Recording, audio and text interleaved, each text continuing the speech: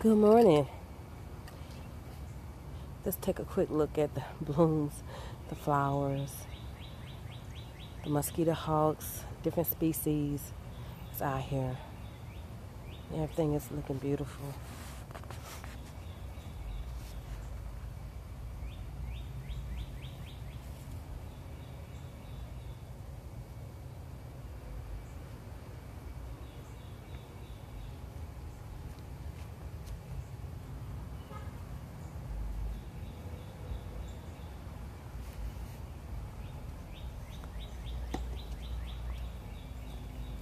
Right here is my mulberry cutting, mulberry cherry cutting. It's starting to grow and get full. When I first got it, it was like right here, and I put on a lot of new growth. That's great.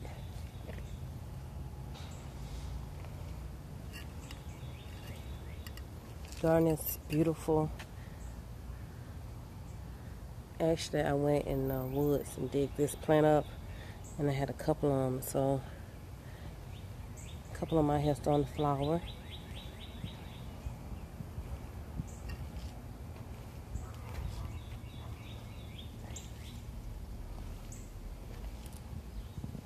Right here I have a gooseberry. And you can actually see the thorns on them. When I first got this plant, it was like small, like right here. And now look at all this beautiful new growth.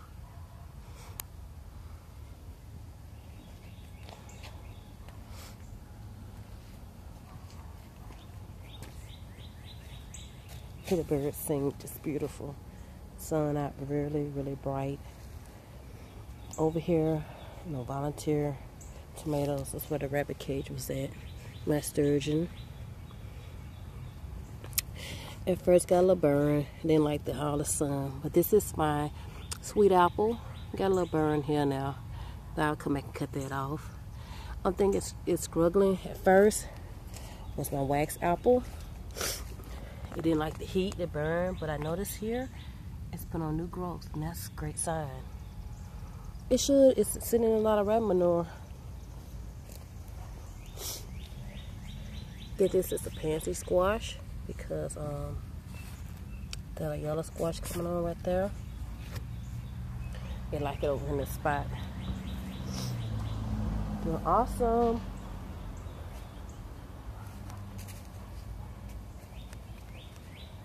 Over here I have my ground apple. Also in different areas. It's coming up.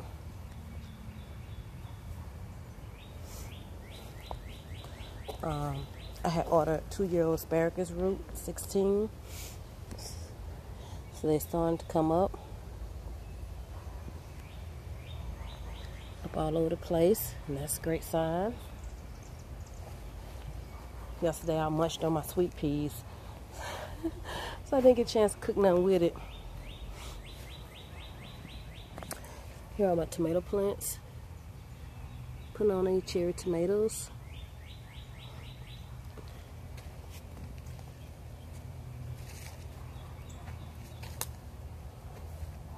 I harvested sweet peas yesterday.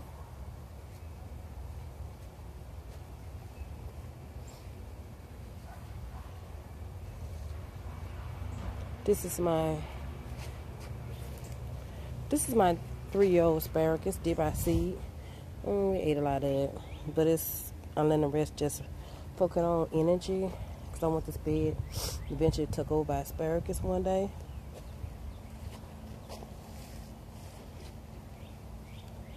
I cut back all the leaves on this tomato plant. It looked really, really bad, but now it's on new growth at the top. We're going to see how this works. So I'm going to build and take the tomato cage off and strain them up so it just can go straight in the air. Remove these cages. My blueberry is doing good also. Yeah, my garden is getting full. I'm steady planting squash, cucumbers out here, beans. I'm just constantly doing succession planting so once this dies, still constantly be growing through the summer. Look how beautiful. I know you can't see the sun kind of beaming. But this is gorgeous out here.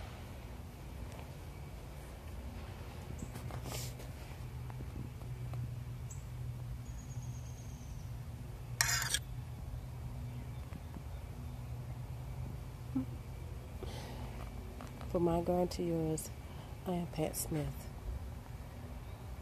Bye. Just beautiful.